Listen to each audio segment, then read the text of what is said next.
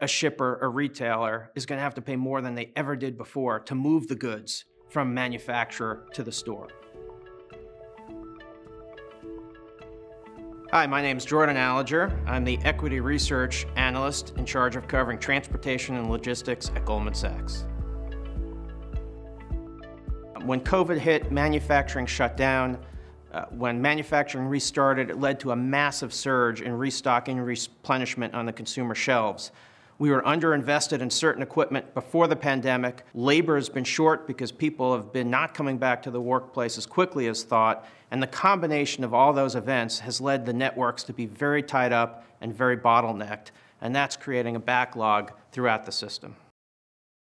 I think two of the more interesting ones are the number of ships sitting off the coast of California. At one point, we were over 100. We're still about 70, but in a normal year, it's a few. The other really interesting data point is the number of delivery days it takes to get from China or Asia to a final point in the United States. In a normal year, it's about 40 days. Right now, it's about 75 to 80 days. From a consumer standpoint, the major impact is, is due to inflationary pressures this has put on the system. For example, every single mode of transportation, truck, train, et cetera, is seeing all-time high rates. The retailer is not likely eating all of that. Much of that has to get passed on to the consumer, and we see that on the store shelf. Plus, people getting used to shopping from home when COVID first hit um, has led to a probably a long-term shift to buy, people's buying patterns.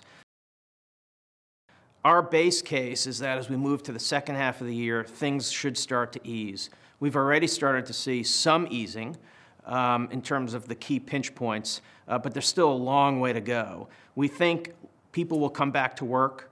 We think more equipment will be added, um, and that should help alleviate the worst of the congestion. But we probably won't see the full normalization until we get to 2023. One of the most important will be just end-use demand. As COVID hopefully recedes into the background, will people buy more services versus goods? Will hotel stays go up? Will people go on more vacations, go more to restaurants? In which case, that may impact the amount of goods being purchased.